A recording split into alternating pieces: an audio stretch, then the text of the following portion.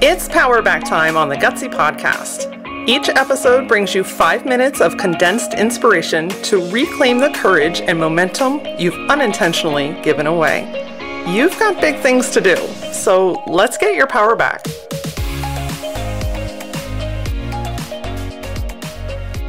Welcome to this week's Power Back episode. Look, Power Back episodes are like mini coaching sessions. 8, 10, 15 minutes to get inside of your brain to help you recognize maybe where you have some blockages, where you're ready to expand, where you are like, you know what? I'm ready to make some changes and some shifts. And this is the knowledge and the power that's going to help me to do that. On today's Power Back episode, we're going to talk about moving forward when you're feeling stuck. Look, nobody loves to feel stuck. That's a shitty ass feeling. But the good news is, it's shiftable. So today we're going to break down first and foremost what does it look and feel like to be stuck? What's causing you to feel that way? And then grounded, practical, very simplistic ways to move through that. So you're no longer feeling stuck, but rather more in control, more confident, and ready to do the shit you came here to do.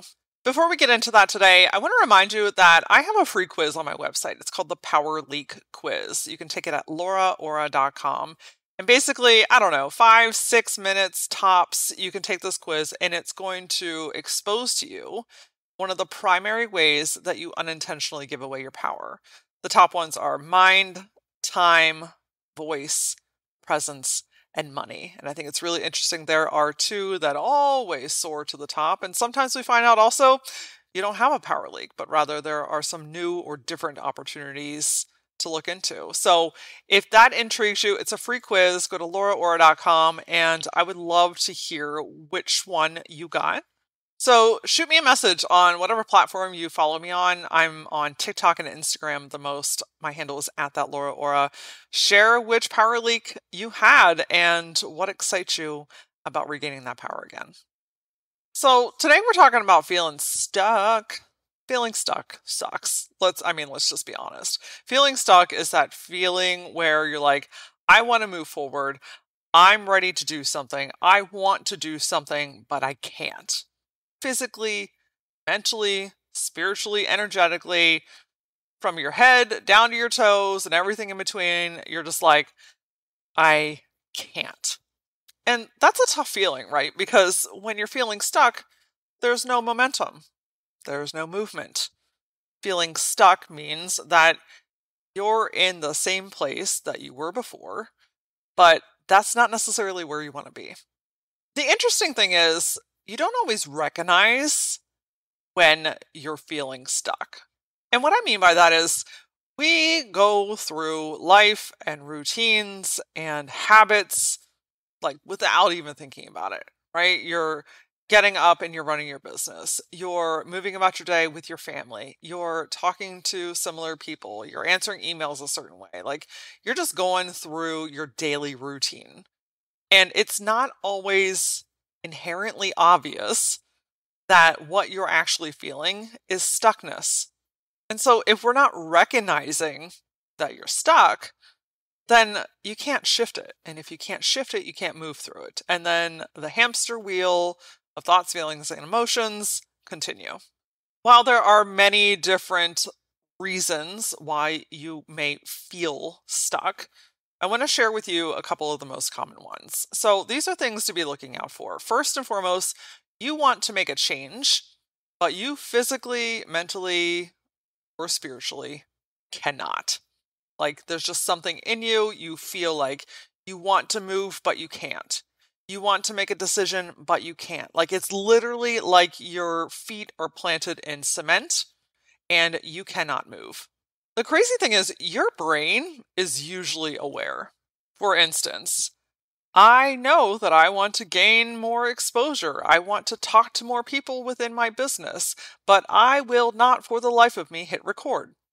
I know that this friendship is really starting to drain my energy and I need to have a conversation, but I cannot for the life of me open my mouth.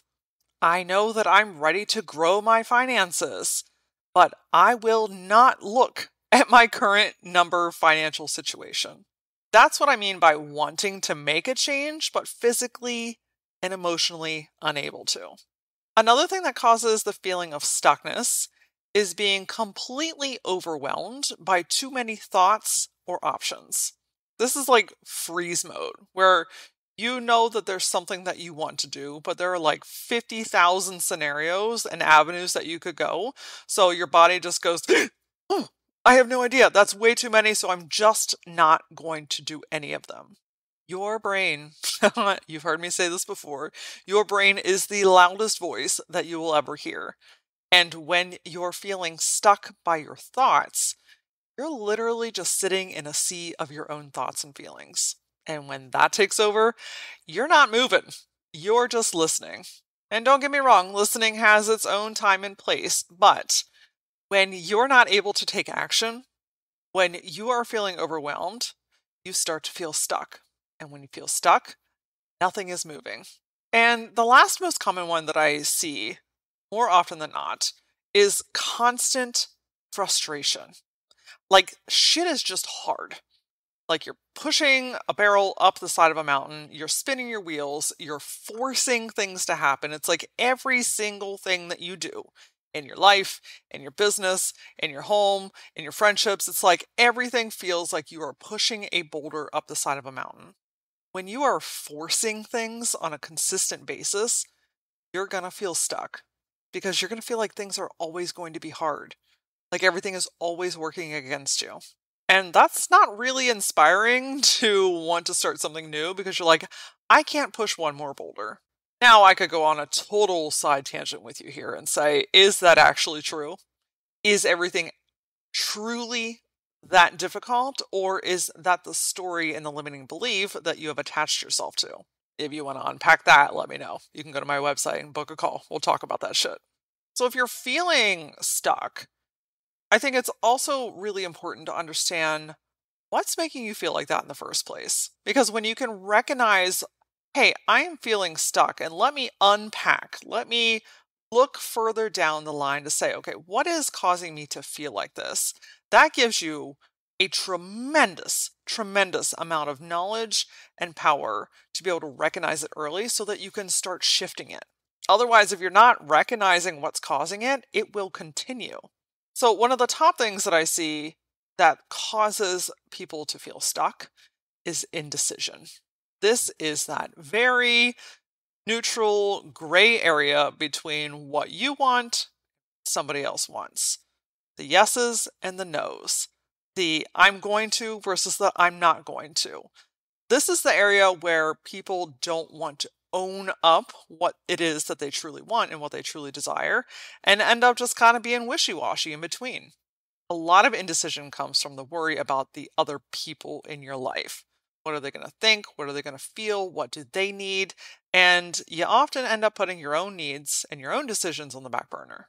The biggest problem with this, besides the fact that you're not honoring your own needs, my friend, is that indecision is keeping you stuck indecision doesn't allow you to move forward. It keeps you in that gray space. So, if you want to move out of this space, allow yourself to make a decision. Like, simply decide. I'll give you a quick example. I, the other week, I was sitting on my couch at home and my brain was like, Laura, you should get up and do this stuff around the house. And my body was like, Laura, you should sit here on the couch because we need to relax. And in my brain, I started playing this ping pong game, the silent ping pong game. No one else can hear of I feel bad about getting up. I feel bad about sitting down. If I do this, I'm doing the wrong thing. If I do that, I should have done the other thing. And I'm like, literally out loud, I was like, what are you doing, Laura? like, we are creating a problem where there isn't a problem. The problem was I was in a space of indecision. I had not decided that I was going to sit and relax, and or I have not decided that I'm going to get up and do the things around the house that needed to get done. And the second that I decided, today I need to rest. Today I need to relax. Right now, what my body needs most is to sit on this fucking couch the second, I'm telling you, the second that I decided that, all of that noise in my brain went away. Guess what? That house stuff is not going anywhere. It will be there when my body is ready. But right now, I'm going to honor my own needs and I'm going to make the decision that I'm going to sit here and watch this movie and allow myself to rest.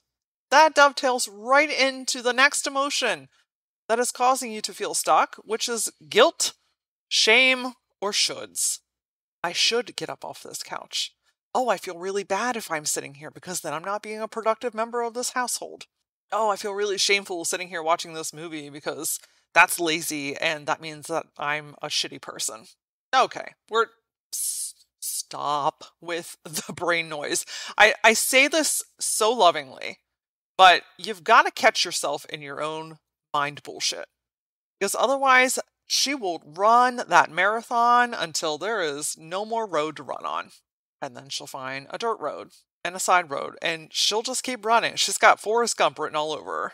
So catch yourself when you start feeling guilty about stuff, when you start feeling shameful, when you start having that negative self talk and saying, I should.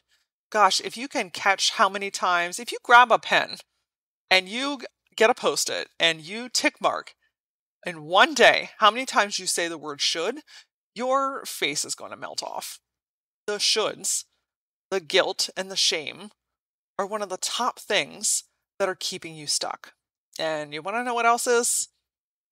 Your plate's too damn full.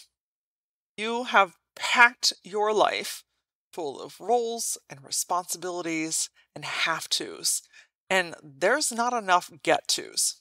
My friend, your plate is really full, and it's really hard to feel inspired and excited to do new things if you're constantly balancing 50,000 plates above your head. It doesn't leave any room for fun, creativity, for flexibility. It doesn't give you the opportunity to be curious to try new things. And when you're not trying new things, you're staying in the same routine. And if you're anything like me, staying there for too long leads to feeling stuck. So, how do you get unstuck? How do you move through the motions and get to a place where you're feeling momentum, feeling excited, where you're feeling inspired and curious and you're trying new things and like there's just an ease and a quietness in your mind because you're like, ah, oh, I'm not constantly feeling weighed down by this thing that has kept me stuck for so long. First, foremost, and always, recognize when you're feeling stuck. I gave you a couple cues earlier, and some of those may align, and there may be different reasons why you're feeling stuck. But first, if you can recognize and notice, hey, I'm feeling kind of stuck right now. Or I'm feeling irritable right now. What's going on? Oh, I feel stuck. I feel angry right now. What's going on? Okay, I feel stuck. I want to move forward and I don't know how to. I'm feeling stuck. I'm wavering back and forth between two different options. I'm feeling stuck. When you start to notice this, this gives you the power to choose differently because if you do not stop if you do not give yourself permission to pause and notice what thought, feeling, or emotion you're experiencing, this will continue. When you notice it, you can stop. And that is my second suggestion is to notice and then simply pause for a second. Stop doing what you're doing, get up from your desk, turn the radio down, or hell, maybe you need to turn it up. Whatever it is that you are trying to force, push, or argue against, just pause for a second. Then ask yourself, what's causing this? And what do I actually need right now? The example of the couch earlier, when I paused, I was like, what is causing this? Oh, I feel guilty. I feel guilty for sitting here, for feeling like I should be doing something else. That's actually not really important, is it, Laura? What do I need right now? I need to rest. And then I honored it. So by asking yourself, what is causing this? And what do I need right now? You're going to feed yourself permission to do that thing.